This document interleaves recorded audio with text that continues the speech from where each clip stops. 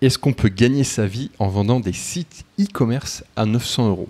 Voilà la question qui a été posée dans le groupe Facebook, groupe que je vous invite à rejoindre. D'ailleurs, c'est un groupe d'entraide freelance francophone webmaster. On est plus de 1500 maintenant, si je me trompe pas, peut-être même plus de 2000. Je, ne sais pas en fait, on est beaucoup. Et il y a pas mal de questions d'échange, de bienveillance. On essaie de garder ce truc bienveillant, sans spam, sans truc euh, chiant. Euh, voilà, c'est un peu de boulot. Euh, et donc il y a cette question qui a été posée et c'est cool. Je suis content quand il y a des gens qui posent des questions. Et la question c'était un truc du genre je vais me lancer dans le domaine de la création de site internet. J'ai un premier client qui veut un site e-commerce je ne crois pas qu'il y avait le détail sur le nombre de produits euh, ou de spécificités euh, du site. Et euh, je pense facturer 900 euros, sachant que je pense qu'on passait à peu près un mois. Est-ce que cela vous semble légitime de facturer 900 euros? Oui, non. Et j'ai vu passer la question, je n'y ai pas répondu parce que j'ai vu les réponses et les réponses me semblaient plutôt satisfaisantes. Je pense qu'elles étaient un peu dans la même vibe de ce que je vais vous dire maintenant. mais je me suis dit, il y a quand même un truc qui va pas. Et il est important on est en 2024, de vous rappeler les bases par rapport à la facturation de sites internet. D'accord? Je trouve, euh, et c'est mon avis, euh, basé sur quand même pas mal d'années d'expérience, que les gens facturent pas assez cher. Et je pense qu'il y a beaucoup de gens qui n'arrivent pas à rester dans ce domaine-là parce qu'ils facturent pas assez cher et qui font pas assez de. La prestation n'est pas assez développée pour facturer peut-être assez cher, d'accord? Donc, je vais reprendre les bases dans cette vidéo et on va parler de tout ça. Alors, juste avant, je me présente comme d'habitude. Si vous arrivez sur cette chaîne et que vous ne me connaissez pas, moi, je m'appelle Johan. Je suis créateur de site internet. Je ne sais pas faire un cadrage avec ma vidéo. Euh, et euh, donc, je crée des sites internet en tant que freelance. Ça fait 8 euh, ans maintenant que je suis à mon compte en tant que freelance. Avant, je bossais en agence web. Donc, j'ai fait des sites aussi pendant 7 ans. Et depuis que j'ai 10 ans, donc ça fait 20 ans euh, que je fais des sites internet euh, parce que j'aime bien ça et je trouve ça sympa et voilà. Donc sur cette chaîne YouTube, donc, dans un côté j'ai ça, je fais ça de ma vie et de l'autre côté sur cette chaîne YouTube, eh bien, euh, je partage des conseils aux personnes qui veulent se lancer bah, dans ce domaine-là en tant que freelance. et j'ai aussi un blog où il y a des articles, des formations, des outils, tout ça, tout ça. Donc, n'hésitez pas à vous abonner et à mettre un petit like euh, pour, euh, pour, euh, bah, pour booster les petits algorithmes, pour chatouiller les algorithmes, comme dit le copain de chez, je crois que c'est Voyage Voyage, la chaîne YouTube. Bref, on va du coup parler de, bah, de ça. J'ai fait un petit article de blog, vous pourrez trouver le lien en description. Et l'idée, c'est est-ce qu'on peut. Regardez-moi, c'est vraiment un, un, art, il hein, faut le dire. Je, suis très fort pour les vignettes YouTube. c'est de l'autocritique. 900 euh, euros par site, est-ce que c'est rentable? Eh bien, on va repartir de la base. Écoutez, moi, d'abord, de prime abord, je pense que 900 euros pour un site e-commerce, c'est pas vendu assez cher. Après, il faut prendre des paramètres. Euh, enfin, je, dis ça d'abord, c'est en toute bienveillance, c'est pas de la critique, c'est en bienveillance, sachant que ma mission, c'est ça. C'est quoi Web and free. Web, ça veut dire qu'on travaille sur le web et qu'on est libre de faire ce qu'on veut à côté. Ok?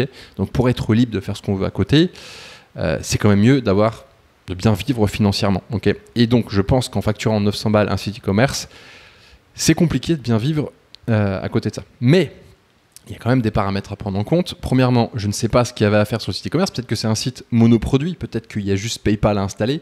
Peut-être qu'il n'y a qu'une seule page. Euh, voilà. Peut-être que c'est super rapide. Peut-être qu'il n'y a même pas de WooCommerce. Peut-être que c'est juste une page avec un bouton PayPal. Donc dans ce cas-là, pourquoi pas.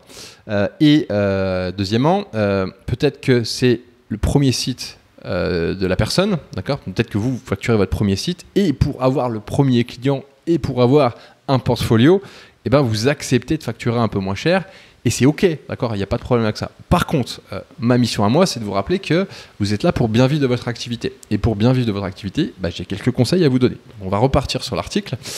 Euh, premièrement, l'importance de calculer son TJM. Qu'est-ce que c'est que le TJM Le TJM, c'est le taux journalier moyen. Qu'est-ce que c'est que ce truc? Ce truc-là, grosso modo, c'est euh, bah, combien vous coûtez à la journée. Si je vous dis quel est votre TJM, si un, un client vous dit quel est votre TJM, vous devez être en mesure de répondre à un montant. D'accord? Une fourchette euh, du TJM si vous allez sur les plateformes type Malte. Je vous invite à aller voir euh, Malte Webmaster ou Malte euh, Freelance WordPress ou Malte Développeur WordPress. Ça dépend de votre spécificité. D'accord? Vous allez voir, généralement, c'est entre 300 et 700 euros. C'est une grosse fourchette. Hein. Et si vous habitez proche d'une grande ville, c'est plus cher.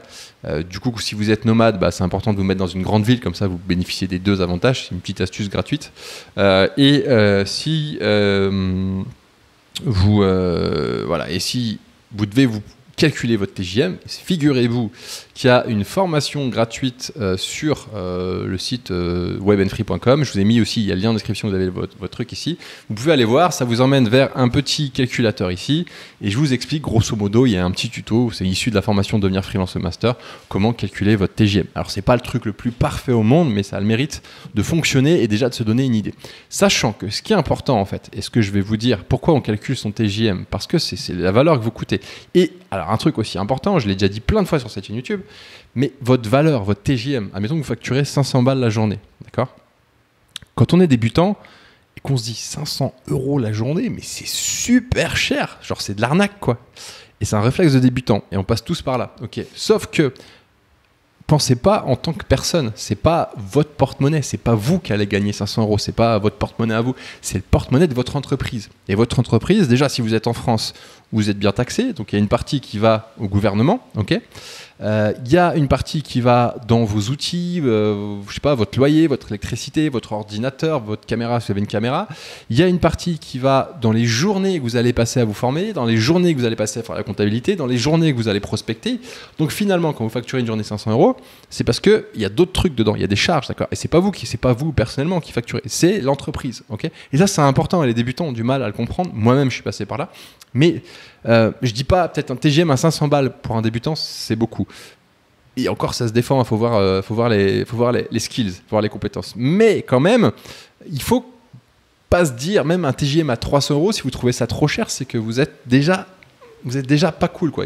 Pour moi, TGM à 300, c'est bien pour commencer. ok? Euh, donc là, on voit en fait dans, le calculateur, vous allez voir le nombre de jours qu'il y a par mois, le nombre de jours de week-end. Donc déjà, le nombre de jours de week-end, vous enlevez 8 jours. Le nombre de jours de congés que vous voulez prendre par mois. Sur la base de 5 semaines par an, c'est 3 jours de congés par mois. Le nombre de jours autres, compta, formation que vous allez perdre. Généralement, il y en a un jour par semaine. Et puis, du coup, ça fait un nombre de jours travaillables par mois de 15. Donc si vous faites 15 fois 300, je ne sais pas combien ça fait, égale 15 fois 300 si votre TGM est de 300, ça fait déjà 4500 euros par mois. D'accord? Et là-dedans, j'ai pas enlevé toutes les charges, d'accord? Par exemple, si vous avez votre banque, votre comptabilité, votre coworking, vos logiciels, vos services en ligne, votre assurance, votre internet, votre téléphone, votre essence, etc., etc., bah, vous pouvez enlever déjà une partie, d'accord? Et là encore, j'étais gentil, il n'y a pas de loyer, Si vous avez un salaire que vous voulez par exemple 2000 euros, bah, vous pouvez l'enlever, mais en fonction de ce salaire, vous allez avoir aussi des charges que vous pouvez ici calculer ici.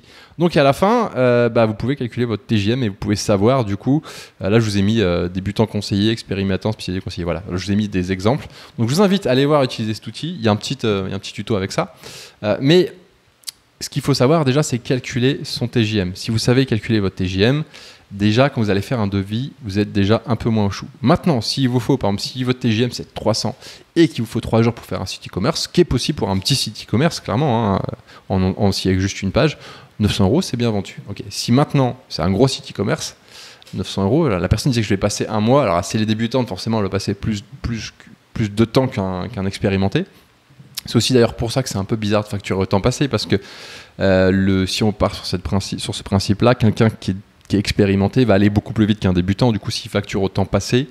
Voilà, donc bah, le TJM, il faut aussi changer sa valeur en fonction de son, son, sa, son expérience. euh, je reviens sur ma petite fiche, je ne retrouve pas ma fiche, elle est là, voilà. Donc l'importance du TGM. Deuxièmement, la création pure, c'est ce que je vous disais, euh, on ne fait pas que de la création pure. Donc il y a les jours de congé, les choses comme ça, ça je l'ai déjà dit. Troisième point, l'importance de bien facturer. Euh, alors j'ai fait plein de vidéos là-dessus sur la, facturation, vous allez voir les articles, vous allez trouver, il y a plein de trucs, mais ce qu'il faut bien se dire, c'est que euh,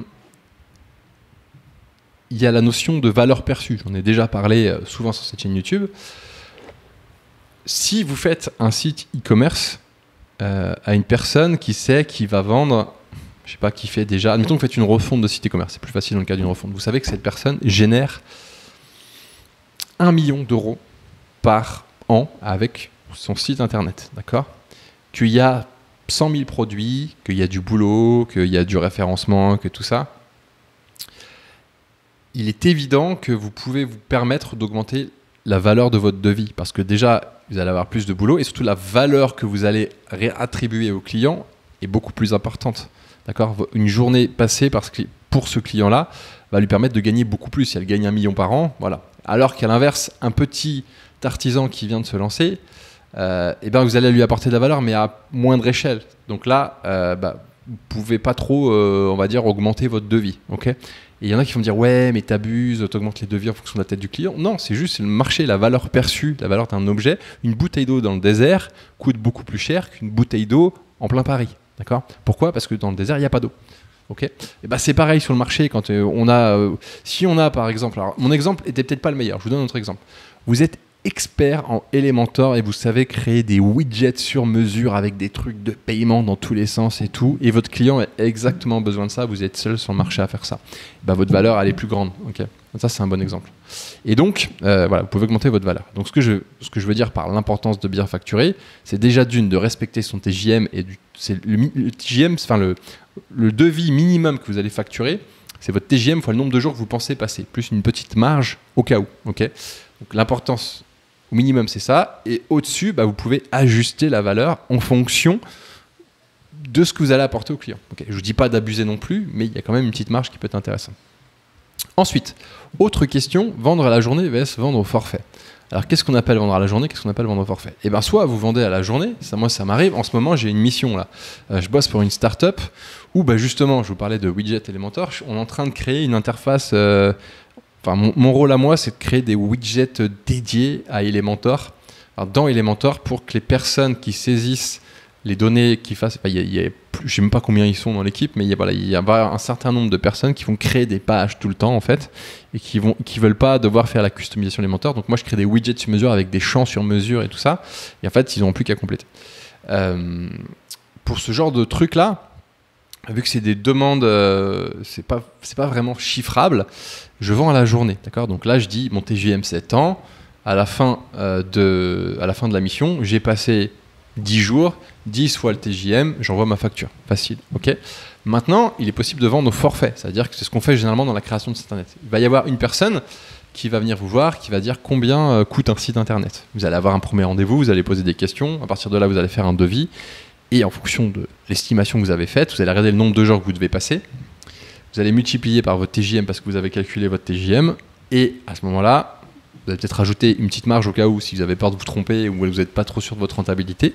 Et à partir de là, vous allez annoncer votre tarif. ça, c'est facture au forfait. Par exemple, je sais pas, site e-commerce, voilà, c'est 2000 euh, euros pour votre site e-commerce avec 100 produits et euh, moyens de paiement, euh, trucs de réassurance, enfin bref, la totale de e-commerce, d'accord Customisation du panier, tout ça, tout ça. Voilà, ça, c'est au vendre au forfait. Et du coup, vous avez le choix entre les deux. comme je vous disais, on vend à l'heure, enfin au TJM généralement, parce qu'on peut vendre à l'heure et à la journée, quand généralement on ne sait pas trop le temps qu'on va y passer et que c'est pas un produit euh, défini, ok? Et on vend euh, au forfait quand c'est un produit qui est défini, qu'on connaît bien les, limites du projet. Euh, voilà, ça, ça peut vous aider aussi quand vous faites vos devis, que vous savez pour vous aider à facturer. Mais encore une fois, le TJM est important. Enfin, moi, ce que je vous conseille de faire, surtout quand on est en 2024 et que vous commencez l'année, c'est d'introduire dans le cadre de vos prestations euh, des prestations récurrentes. C'est-à-dire que vous avez potentiellement une prestation one shot, c'est-à-dire que vous vendez un site internet, une création de site internet, ok. Mais à côté de ça, le site va falloir qu'il vive et du coup, vous allez pouvoir rajouter des prestations annexes. Des idées de prestations récurrentes annexes, la plus courante et la plus facile à vendre, c'est la prestation de maintenance. Pour ça, il y a une formation qui s'appelle WordPress Maintenance Pro, euh, qui est disponible sur le site si vous voulez aller voir, euh, qui vous explique comment bah, construire une offre de maintenance adaptée à un client, l'exécuter et la vendre. D'accord? D'ailleurs, pour la rentrée, il y a une petite promo, vous pouvez aller voir, il y a le code de réduction juste en dessous, normalement dans la vidéo, si j'ai fait le taf. Sinon, il est dispo sur le site. Euh, et donc, euh, bah, vous, euh, vous, pouvez construire des offres de maintenance. Vous pouvez aussi faire des offres de référencement. Si vous avez un niveau avancé en référencement, vous pouvez par exemple vendre des campagnes de référencement. Une campagne de référencement, ça se fait par exemple sur 6 mois ou sur un an minimum 6 mois, parce que le temps de voir les résultats, et encore 6 mois, des fois c'est court. et dans cette campagne, eh bien, vous allez par exemple choisir avec le client 10 mots-clés sur lesquels vous allez travailler. Et du coup, vous allez faire des optimisations sur le site, vous allez rajouter des contenus rédigés pour travailler ces mots-clés-là. Euh, vous allez potentiellement faire du netlinking, c'est-à-dire que vous allez aller chercher des liens externes avec un budget que le client va vous donner et faire pointer des articles, enfin des liens vers votre site, le site de votre client. Bref, il y a plein de choses à faire en SEO. Ça, ça peut être euh, quelque chose. Vous pouvez faire du SEA aussi, de la publicité. Bref, En, accompagnement, vous pouvez faire aussi des réseaux sociaux, euh, du contenu pour les réseaux sociaux, ça, ça marche bien. Si vous êtes photographe ou vidéaste, il y a vraiment des trucs à faire. Euh, bref, bref, vous pouvez faire plein de trucs en complément et ce que je vous invite à faire pour augmenter vos revenus et bien vivre. L'idée, encore une fois, de cette vidéo, c'est de vous aider à bien vivre de la création de sites internet et de tout ce qui gravite autour. Ok? Voilà, bon, conclusion. Euh, premièrement, en conclusion, ce que je peux vous dire, c'est que si vous avez des questions, bah, n'hésitez pas à aller sur le groupe Facebook parce que c'est là où on peut vous aider. Et encore une fois, je prends cet exemple-là, c'est pas du tout pour critiquer. Au contraire, je pense que vous avez compris l'idée, c'est bienveillance et objectif web and free parce que c'est là où on veut aller, c'est-à-dire vivre du web et être free, freelance, free dans la vie et tout ça, tout ça. Euh, résumons euh, le truc. Premièrement, pour savoir si votre devis est correct. Euh, calculez votre TJM, estimez le temps que vous allez passer. Si vous ne savez pas, vous pouvez poser une question au groupe Facebook comme a fait cette personne, genre je pense qu'il me faut tant de jours pour faire un site e-commerce avec tant de produits, etc. etc. Vous aurez pas la réponse exacte, mais avec toutes les réponses que vous allez avoir, vous aurez une moyenne qui va vous donner un axe, un ordre d'idée, d'accord? Vous multipliez par le TJM et vous avez votre devis minimum vous pouvez facturer. Ensuite, par-dessus ça, prévoyez peut-être une petite marge au cas où, si vous êtes trompé, ça peut arriver, ça arrive tout le temps, il y a toujours des petites zones d'ombre dans les projets, clairement. Euh, et euh, éventuellement, si vous voyez que vous pouvez apporter vraiment de valeur, que vous êtes super qualifié là-dessus, vous êtes tout seul sur le marché, bah, n'hésitez pas à augmenter un petit peu votre valeur perçue parce que bah, vous, ça, ça vaut cette valeur, d'accord? Et du coup, vous pouvez augmenter un petit peu votre devis. C'est pas dans tous les cas, mais c'est quelque chose qu'on peut faire. Et je dis pas d'abuser non plus, ok? Euh, Voilà. Et puis euh, bah, sur ce, après, euh, à côté de ça, prévoyez si vous pouvez de créer des offres récurrentes. Encore une fois, il y a une petite promo sur l'offre de WordPress Maintenance Pro. Vous pouvez aller voir sur la formation si ça vous intéresse. et voilà. Avec ça, vous avez toutes les clés pour démarrer 2024 en facturant vos sites internet convenablement et bah, en, ayant, en ayant une belle année 2024. Voilà. Je vous remercie pour votre attention. J'espère que ça vous a plu. N'hésitez pas à mettre un petit like si au moins ça vous a donné une petite idée, un petit déclic, un truc. Pour moi, c'est important. Les, likes, pour moi, c'est la conversion de déclic. D'accord? Si vous avez un déclic, vous mettez un like et je sais que vous avez eu un déclic. Pas besoin de mettre un commentaire. Je sais qu'il n'y a pas beaucoup de commentaires en général. Mais le petit like, ça coûte rien et ça fait plaisir. Voilà. Je vous souhaite une très belle fin de journée. On se retrouve la semaine prochaine. Prochaine, prochaine vidéo. Ciao, ciao.